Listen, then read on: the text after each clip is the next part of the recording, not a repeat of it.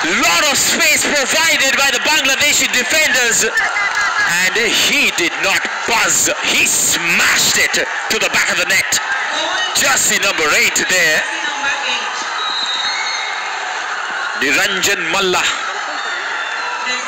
the substitute from Team Nepal. What a shot that was, bringing alive the supporters of Team Nepal inside the ground. Look at that. Lapse in judgment by the defenders, I would say, allowing him some space to go for that shot. And he does no mistake whatsoever.